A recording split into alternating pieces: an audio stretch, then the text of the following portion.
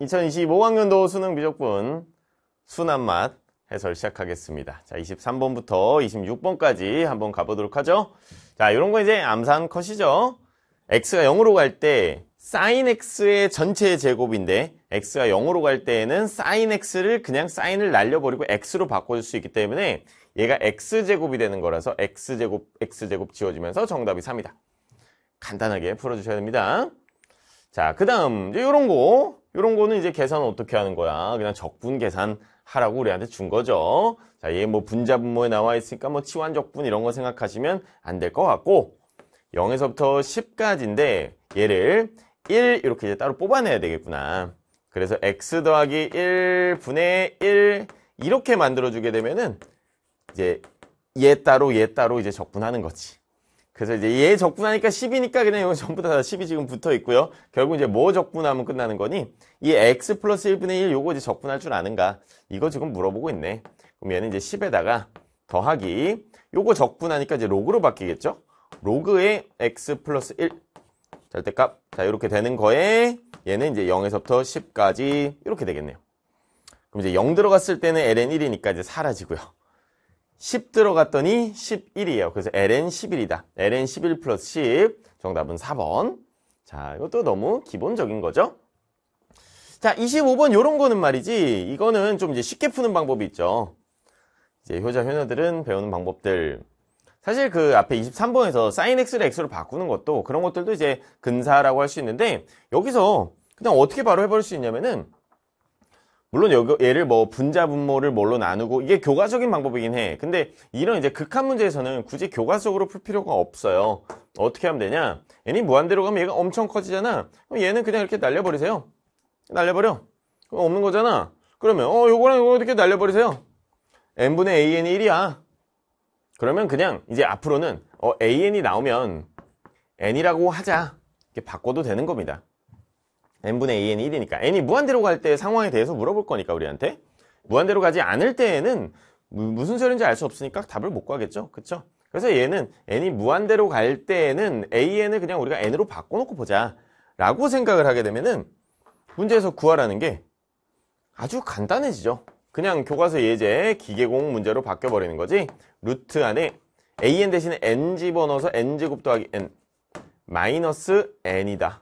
이거예요 그러면 얘를 이제 풀 때 유리화를 시켜주는 방법도 있지만 또 이것도 또 쉽게 풀 수 있는 방법이 있어요. 어떻게 하면 돼? 요 안에 들어있는 거를 완전 제곱식 꼴로 고쳐줘요. 그러면 n 더하기 2분의 1의 제곱이야.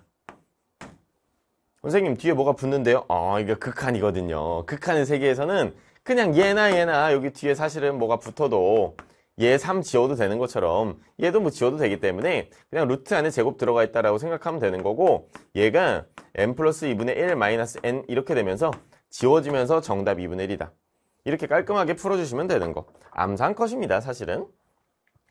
자, 그 다음 이제 26번. 어이구, 이거 뭔가 되게 복잡해 보인다. 이거 어려운 거죠?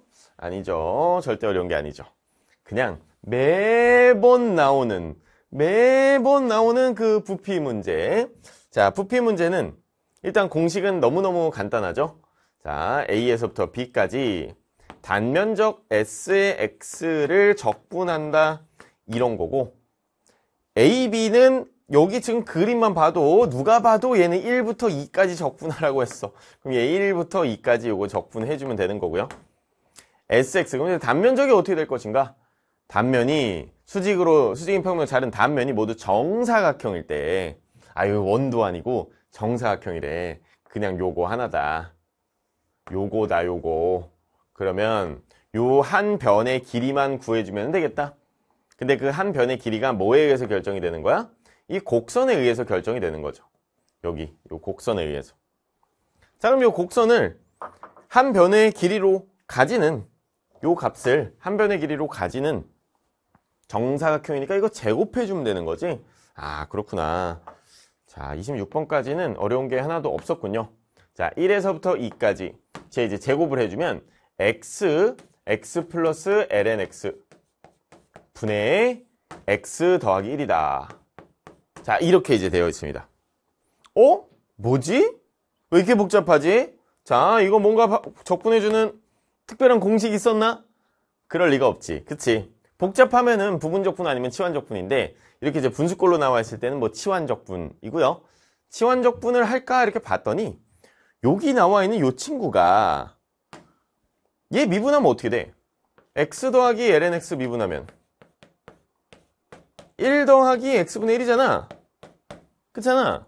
어? 근데 잠깐만 얘랑 뭔가 관련이 있어 보이는데? 얘는 x분의 x 플러스 1이거든요. 그래?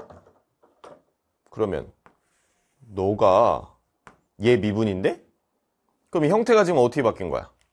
fx라고 했을 때 fx분의 f'x 요렇게 지금 바뀐 거네. 그치? 그럼 얘를 지금 인티그럴 해주는 거니까 얘는 ln의 절대값 fx 플러스 이런 식으로 부정적분이 만들어지겠지?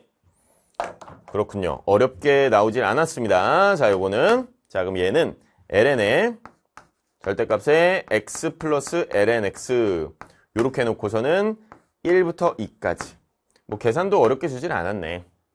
그러면 얘 1 들어갔을 때는 1이고 ln이니까 0이라서 ln1 통째로 되니까 이거 사라지고요.